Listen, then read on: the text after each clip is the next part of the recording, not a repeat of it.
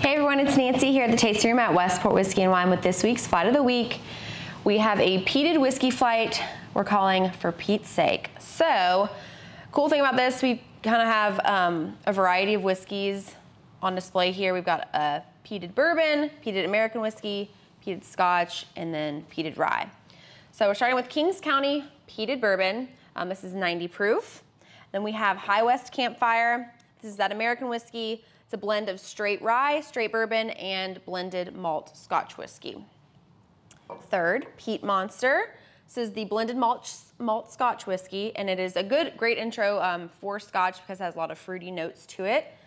And then last, um, Buzzard's Roost Peated Rye. So it's aged in new lightly charred oak and then it's cold smoked um, with those peat logs imported from Scotland.